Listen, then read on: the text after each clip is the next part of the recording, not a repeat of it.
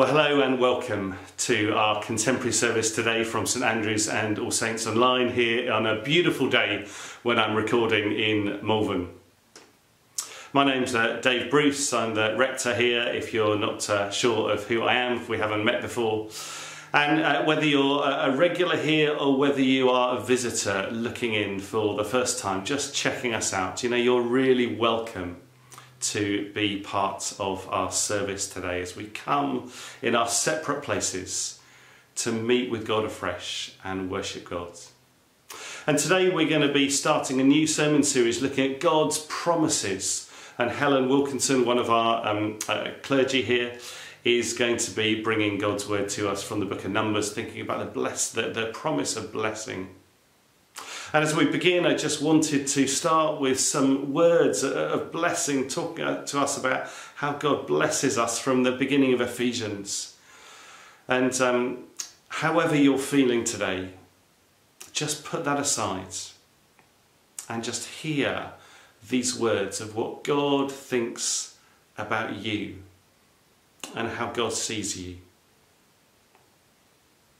Ephesians 1 3 to 6. Praise be to the God and Father of our Lord Jesus Christ, who has blessed us in the heavenly realms with every spiritual blessing in Christ. For he chose us in him before the creation of the world to be holy and blameless in his sight. In love, he predestined us to be adopted as his sons through Jesus Christ in accordance with his pleasure and will to the praise of his glorious grace, which he has freely given us in the one he loves. As we start our worship today, let's just hear those words and dwell on them. You are blessed with every spiritual blessing in Christ. You are chosen by God. However we feel about ourselves, you're chosen by God. You're adopted as God's children. You are deeply loved, however your week has been, however much you feel you've messed up. You're deeply loved by God. And you know, all of that was made possible because of Jesus, because of his death and resurrection uh, for us that first Easter. And so, just dwelling on those things, let's come and bring our praise to Jesus. Let's affirm just who Jesus is. What a beautiful name, the name of Jesus.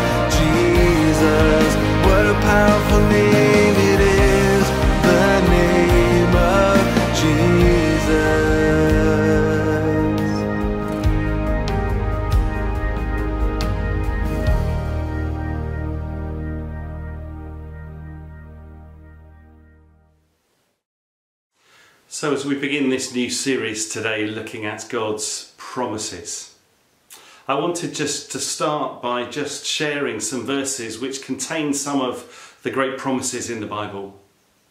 And as we look at these and dwell on them, it may be one of them which really resonates with you in your current situation, what you need to hear today. You know, I encourage you just to dwell on that as we hear this scripture speaking over us and just to hear God's promise to you, his assurance, hear of who he is, of his character, and just rest in that.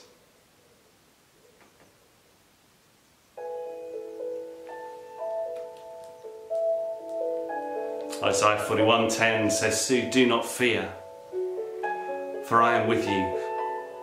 Do not dismay, be dismayed, for I am your God. I will strengthen you and help you. I will uphold you with my righteous right hand."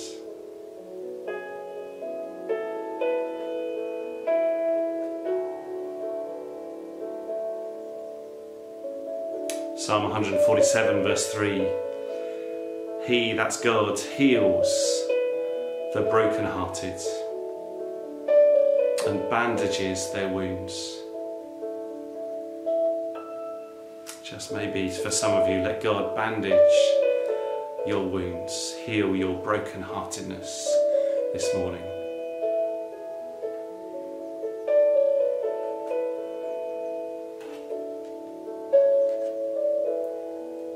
Lamentations 3 22 to 23 Because of the Lord's great love, we are not consumed, for his compassions never fail. They are new every morning. Great is your faithfulness. For those feeling overwhelmed this morning, just hear these words because of the Lord's great love, you are not consumed.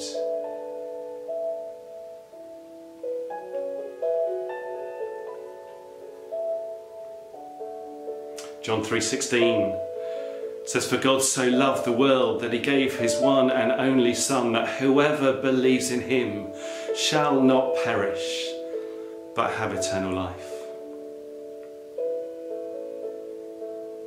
You know if we believe in in God if we believe in this amazing gospel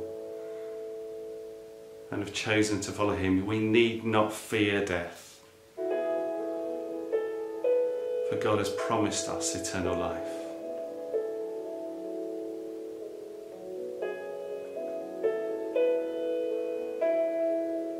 Isaiah 40, verse 31 But those who hope in the Lord will renew their strength. They will soar on wings like eagles. They will run and not grow weary. They will walk and not be faint. If you're exhausted today, come to the God who promises to renew your strength, to let you run and walk and soar again.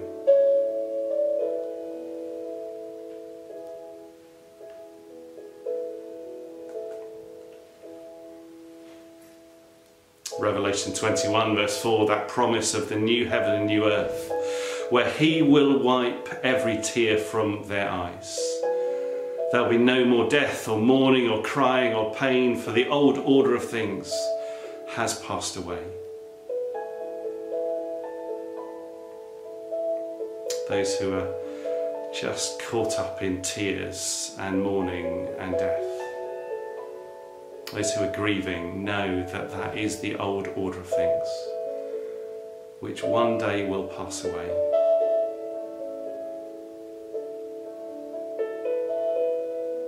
One day God will wipe every tear from your eyes for good forever.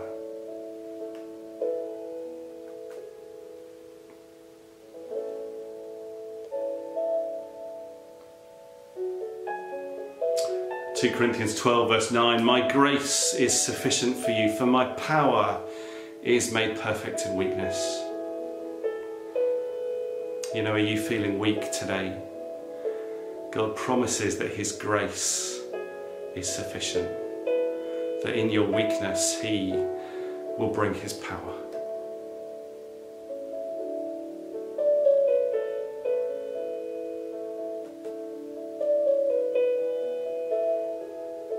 2 Corinthians 5 17 says, Therefore, if anyone is in Christ, he is a new creation. The old has gone, the new has come. You know, to those who are burdened by guilt and shame from their past, you know, God says the old is gone. That's not who you are anymore. The new is here. You're filled with my spirit.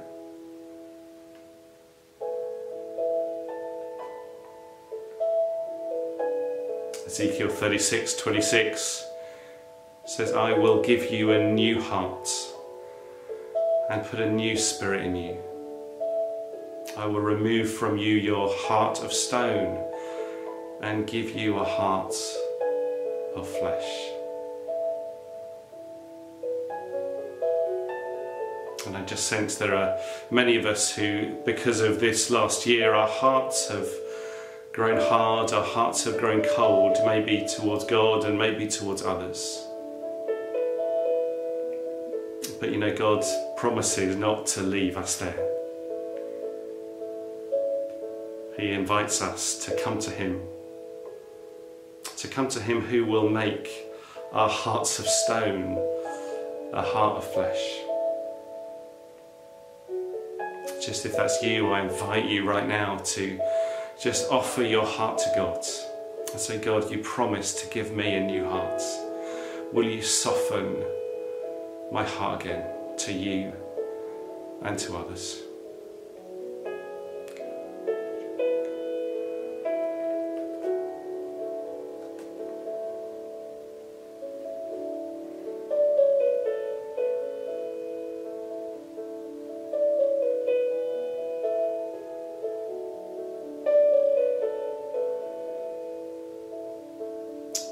Lord is gracious and compassionate, slow to anger, and of great goodness.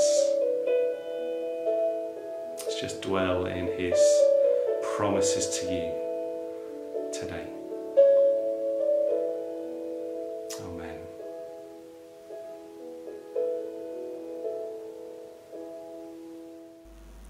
And this week, we're beginning a new series of Bible teaching that's been chosen for a specific purpose.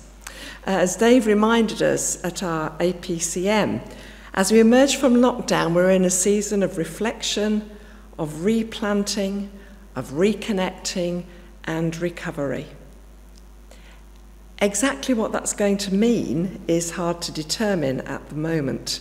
And that's why Dave focused us last week on 2 Chronicles chapter 20, verse 12, where it says how God's people simply prayed to him, how they focused on him. And the scripture text says, We do not know what to do, but our eyes are on you. And that's how we are feeling as a church right now that our eyes are looking to God for the future. And so it seemed good in this season uh, that we should spend some time remembering what it means for us to be the people of God. So, for the next few weeks, we're going to be looking at some of the promises of God that affirm our identity as God's chosen people. And that will be followed by a teaching series on our call to be collectively God's people looking at the latter part of Paul's letter to the Romans. None of us comes out of lockdown unscathed. The world in which we live is in some ways the same, yet in many ways quite different from how it looked just over a year ago. And so we're in a time of transition. So, for the first of our promises, we're going to begin with a promise that was given to another group of God's people when they too were on a journey. And like us, they'd been in the wilderness for just over a year. And the promise comes from the Old Testament book of Numbers. In fact, the Hebrew title for the book of Numbers is In the Wilderness. And it's the most wonderful promise of blessing that will enable us to begin our journey of transition, focusing on God's heart of love for us, that we might receive afresh that love for ourselves. But before we read this promise of blessing, just a bit of background. God's people, Israel, had recently known incarceration as slaves in Egypt in their wilderness journey en route to the promised land. And they were re emerging into an unfamiliar outside world, and it is in this situation that God meets them. He encourages them not to look to the past or even to the future, but to simply enjoy being who they are a people belonging to God, who are deeply loved by Him and whom He promises to bless. And so, as we look at this uh, passage from the book of Numbers, let's pray together, shall we? Father God, thank you that your word speaks life into our hearts. We ask that today you will speak to us by this passage afresh in the power of your Holy Spirit. Amen. This reading is from Numbers 6, verses 22 to 27. The priestly blessing.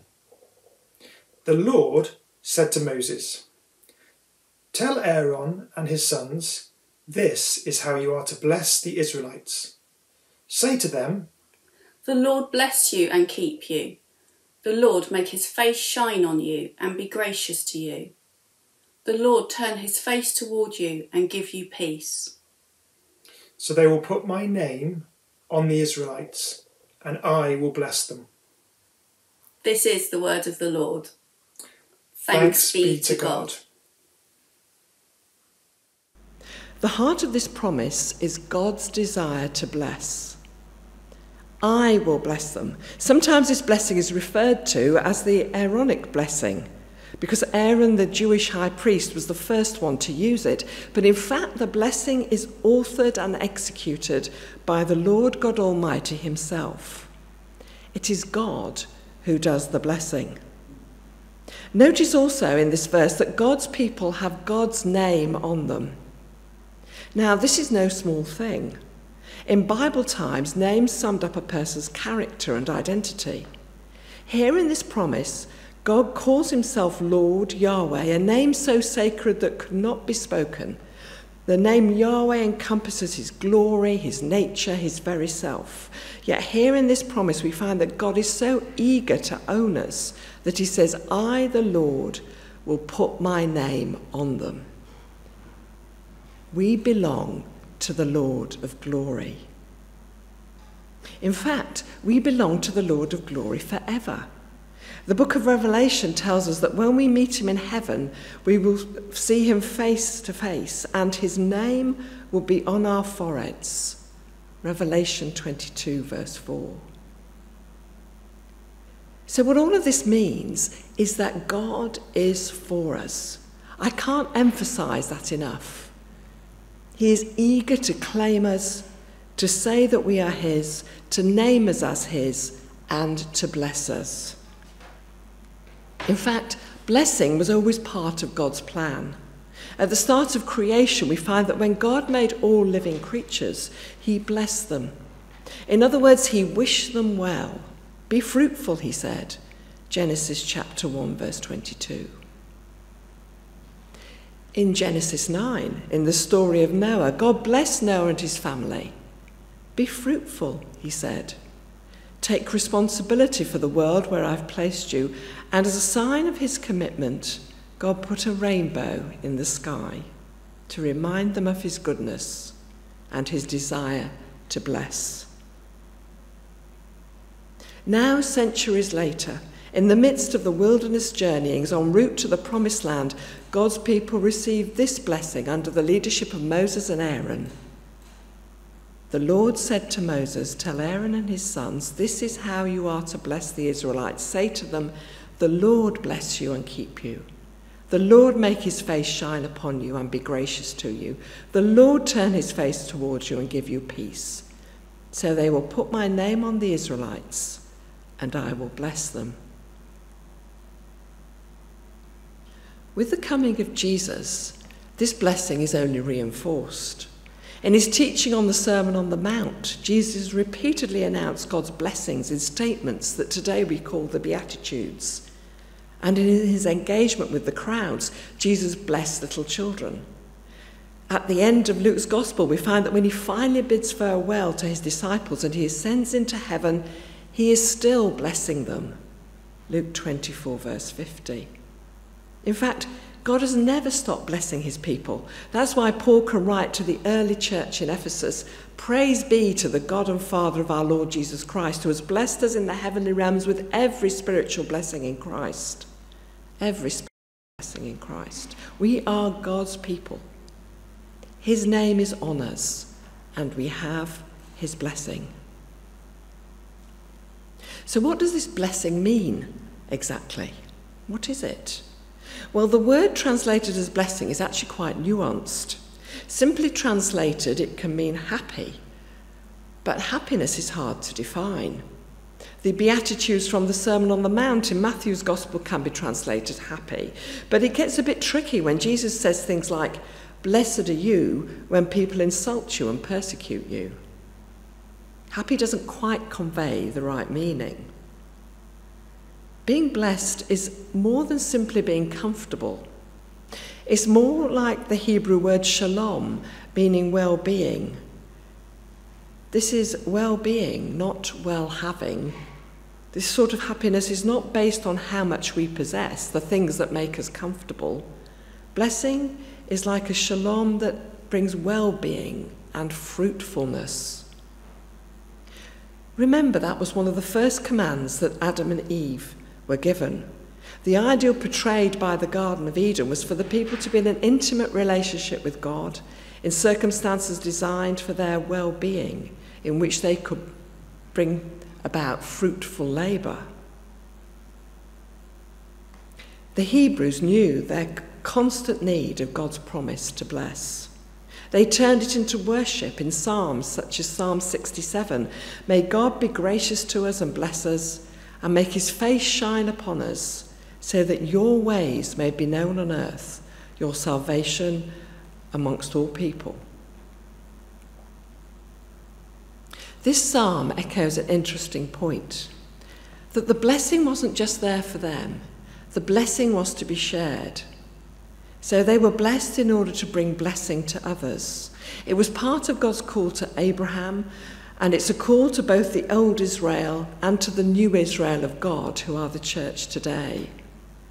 Living in the blessing ourselves will mean that we live to bless others. God designed it so that we could all bear fruit together. Yet it's a calling that is easy to shrink back from. The promise of blessing in Numbers 6 is prayed over by the people by Aaron, who was a leader who failed God in a number of ways, once really badly. Nevertheless, God chose him to declare a blessing to others. And that's a great encouragement when so often we imagine that God won't want to use me. One way to get started is simply to use this blessing as a prayer for others. A friend of mine put a copy of number 6, 22 to 27, next to her wash basin. Every time she washes her hands, she prays this blessing for someone. She said that in a year of COVID, it's amazing how many people you can pray for. Don't ever think that what you have to offer is insignificant. I like to think that we're all links in a chain, and God uses each one of us to be a blessing to others in a whole host of different ways. One person who's really blessed me during lockdown has been my friend Elaine. Just over a year ago, Elaine was going through a really tough time when she bumped into a neighbour of hers who comes to St Andrews. Through that encounter, she heard about CAP and Elaine found them really helpful. CAP was followed by the practical kindness of the St Andrews Blessing team, and I came pretty much at the end of the chain, really, offering friendship to Elaine at the end of a phone. Elaine often says to me that she dreads to think where she would be today if she hadn't experienced this blessing. She's found a real and living faith in Jesus in the past year and it all started from that simple encounter with the St. Andrew's neighbour in the street. Elaine's given me permission to share a poem that she wrote at the beginning of this month. Today the sun is shining along with my heart and soul, and I thank the Lord for my new friends who saved me from my sad madness. In the Lord's name, I now appreciate the love that is invisible unless you believe. So much sadness and loneliness taking me in and out of nowhere. So many doubts and fears accumulated throughout the years, which easily added to my heavy mind. And the pain held me so tight that I couldn't breathe, leaving me even more alone and unable to trust the unknown and recognize the obvious anger within me, along with the unseen, which I now know to be the devil's work as he tried to capture my soul. The thoughts which he encased in me, encouraging me to disbelieve the Lord's love and goodness, which is right in front of me for all to see. My soul and heart now cleansed, my future a reality of light and goodness, and my past a thing of nightmares which I no longer fear or cry over. And she ends with these words in bold Thank you, Lord, for your love and belief in me. You can read Elaine's poem for yourself in the weekly mailing on our website. Elaine's blessing from God has blessed me back. God's plan is for us to be a blessing to others. So let's have a look in a bit more detail as to what experiencing this blessing can mean for each one of us. I've already mentioned our well being. The Lord's blessing here in number six also conveys on us his keeping power. The promise says, The Lord bless you and keep you. God's keeping power offers security, even in a storm. The ancients feared the sea, and for them it represented the worst of the terrors that we can face in this life. That's in part why I think that when Jesus wanted to show his power over the whole of creation, he did so when he was trapped in a storm with his disciples on a tiny boat on Lake Galilee. They learned that if Jesus could be trusted to keep them safe in that situation, then he could be trusted with anything. We're currently in the season of Easter, and the resurrection reminds us that there is nothing that God's power cannot overcome, even death itself.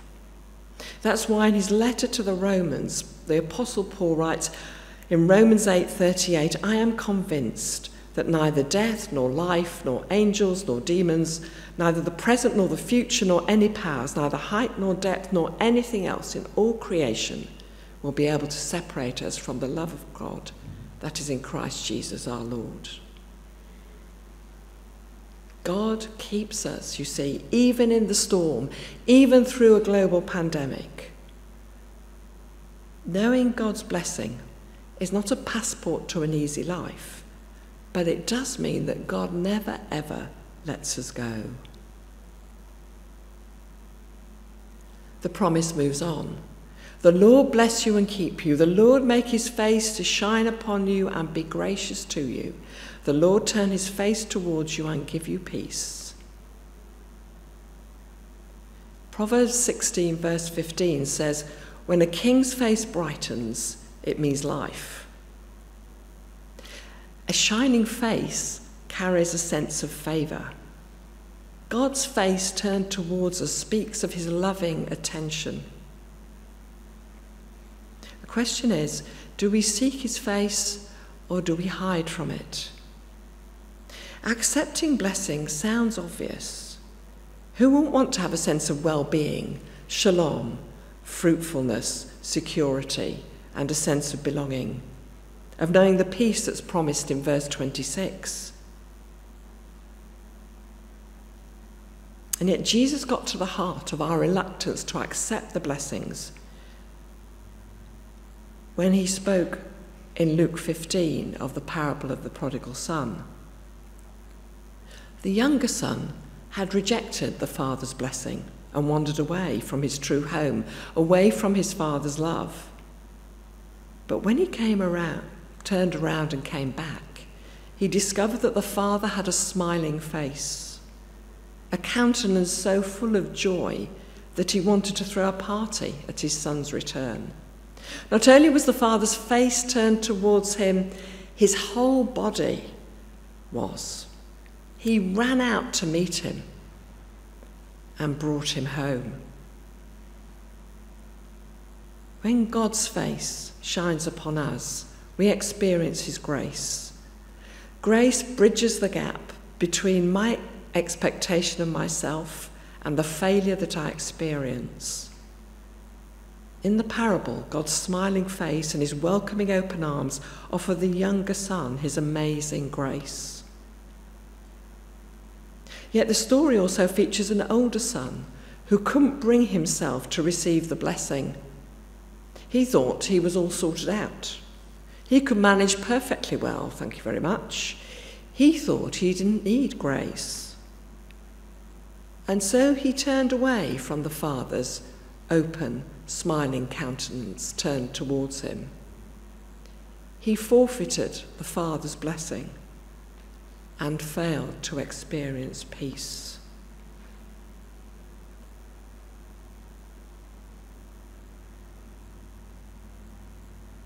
Which son do you identify with the most, I wonder?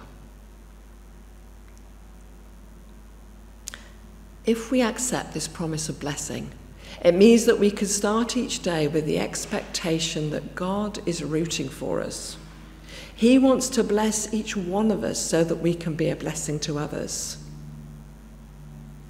It's a good idea to keep this promise from the book of Numbers handy to remind us. We don't have to persuade God to bless us. It's we who need to be reminded. And at the end of the day, look back on the ways in which God has blessed you and give thanks. Many of us know this promise of blessing really well, and yet we still struggle to receive it on a daily basis.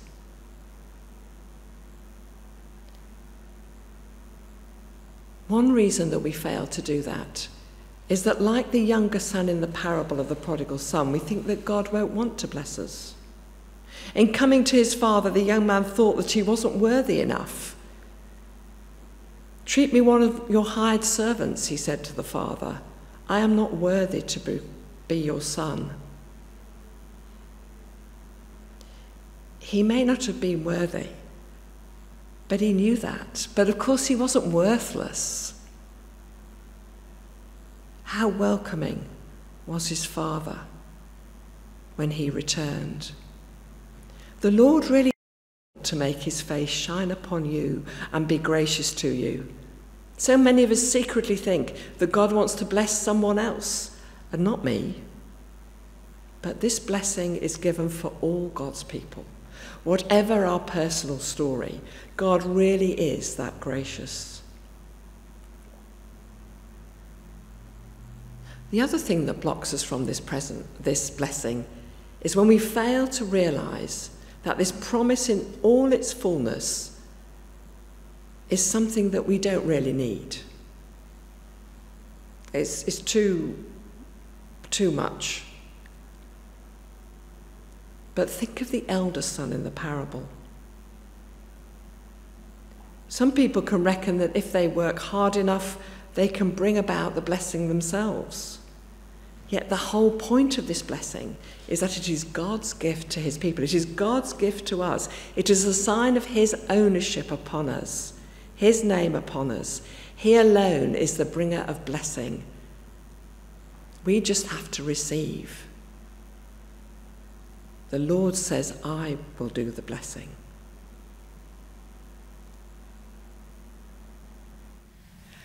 We're going to have time now to reflect on this promise of blessing.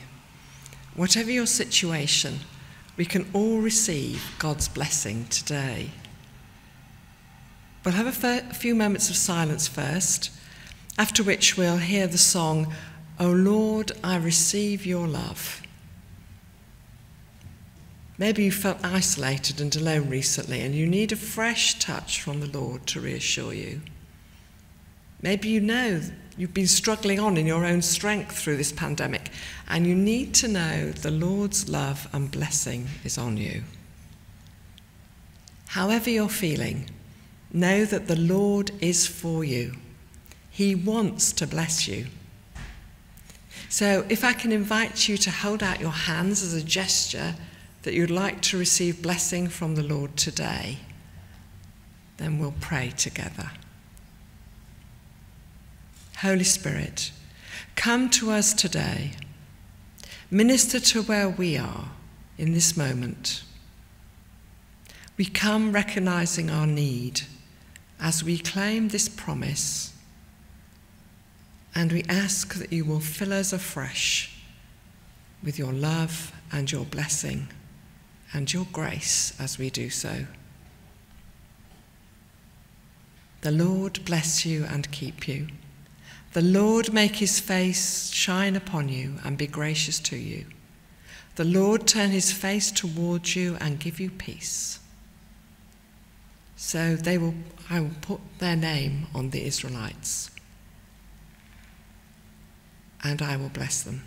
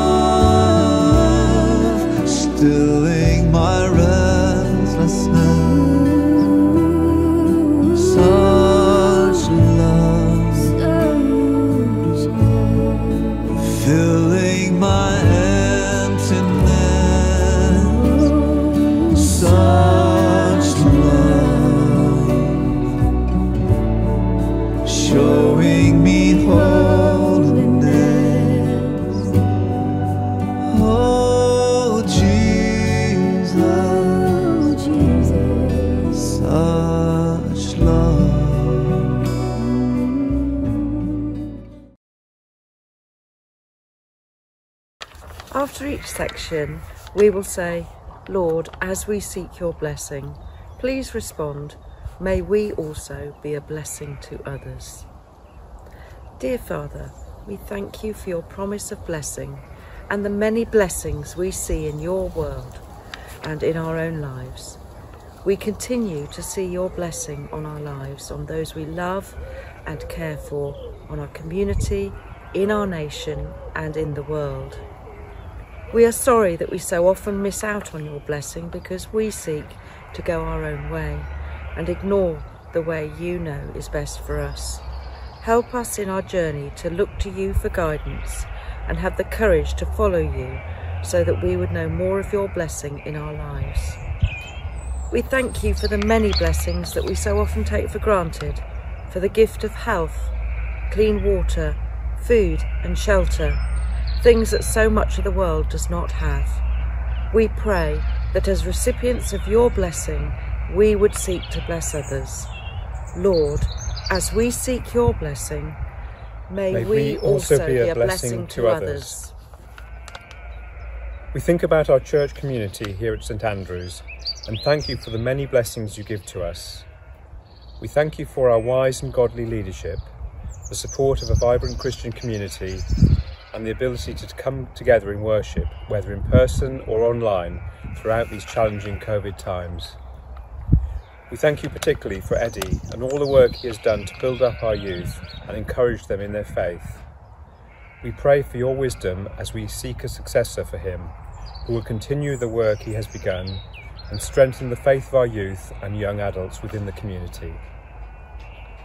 We pray for those known to us and also those known only to you in our community who are suffering physically, emotionally, or financially.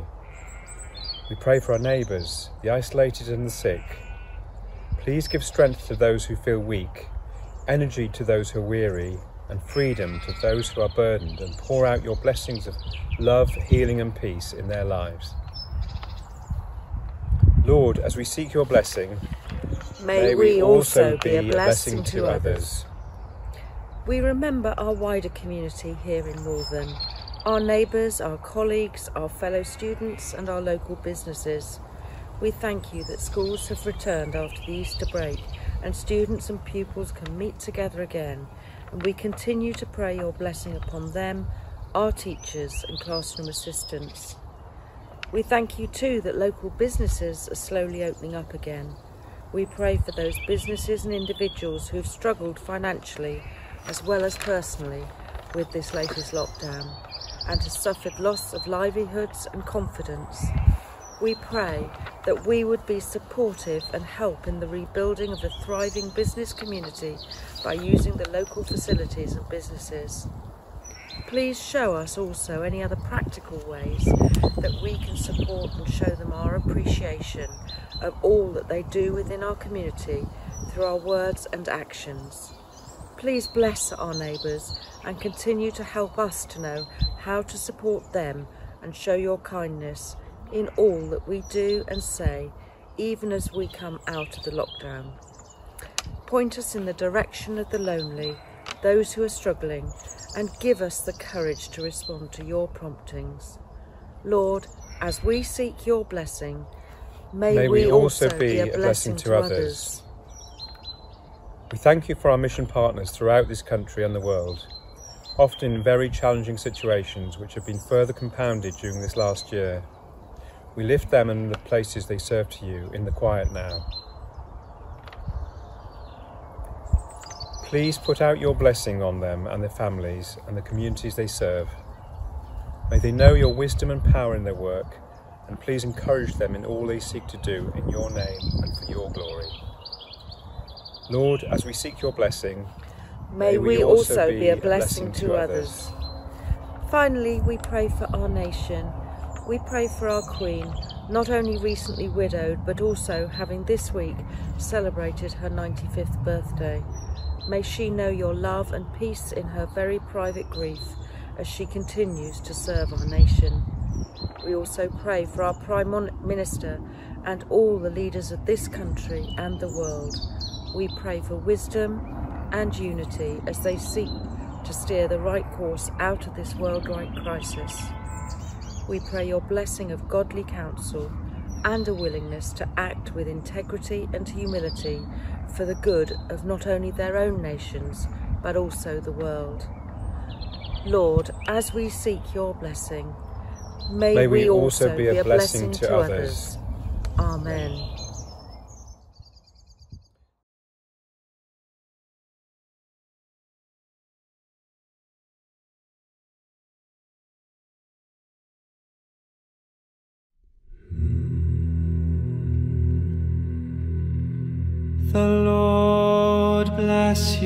Keep you.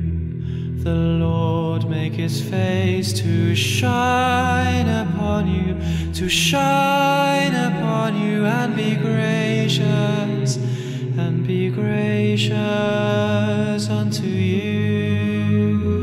The Lord bless you and keep you. The Lord make his face to shine upon you, to shine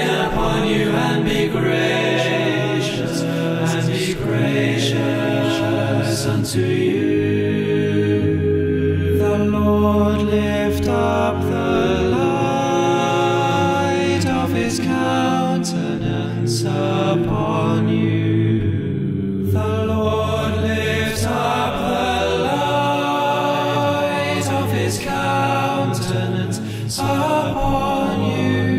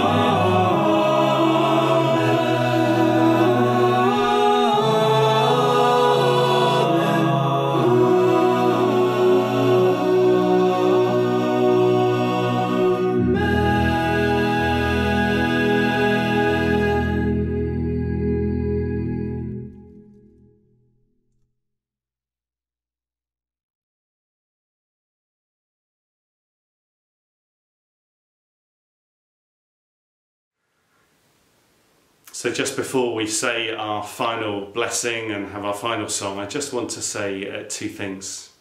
Firstly, you know, I just sense that God wants to uh, just bring healing to us, bring restoration to us, bring those promises to many of us in our different situations that we find ourselves in. And I want to encourage you, uh, perhaps if a particular promise has stuck with you today, from some that I was reading out earlier, then just dwell on it this week. Go and write it on a bit of paper, put it uh, by your computer, put it on the fridge, whatever, and dwell and focus on the truth of that this week.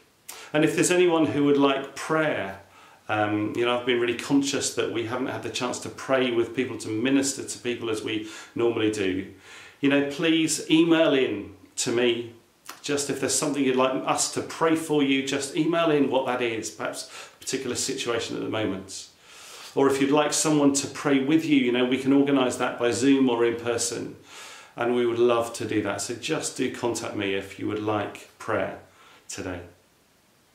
But I also want to just issue an invitation to us all. Last week was our annual uh, church meeting at St Andrews and a few weeks ago at All Saints. And there I particularly talked about this next season being a season of reconnection with people, with each other. As we, the church, learn to reconnect with each other in person over these coming weeks. And I want to issue an invitation, an invitation from God to say, come and draw back to my special family that I've put here in Malvern. And that invitation is this to, to find somebody who perhaps you haven't been in touch with for quite a while in the church, or maybe even just a neighbour or someone that you know who's um, perhaps struggling at the moment. And connect with them some way this week, whether it's a phone call or whether it's going having a coffee, going having a walk. And ask them two questions. One, firstly, is how has this lock, last lockdown been for you. I think a really important thing here in this time is hearing each other's stories of how life has been, just listening, deep listening to each other to understand where different people are at. So, one, how has this last lockdown been for you? And secondly, what can I pray for you? What can I pray for you? And actually, maybe even you, you if you you're confident enough to pray for them there and then, or just commit to pray blessing on them in this coming week.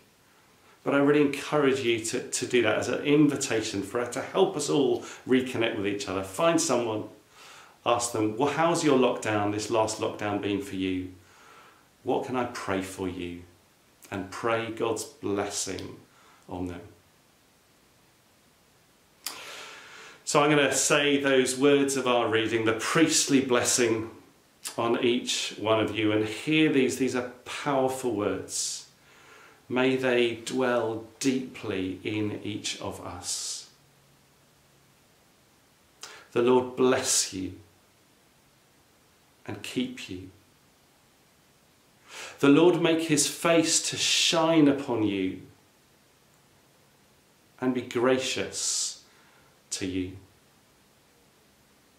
The Lord turn his face towards you and give you his peace. May God bless you so that you may go and bless others this week. The Lord bless you and keep you. Make his face shine upon you and be gracious to you. Lord turn his face toward you and give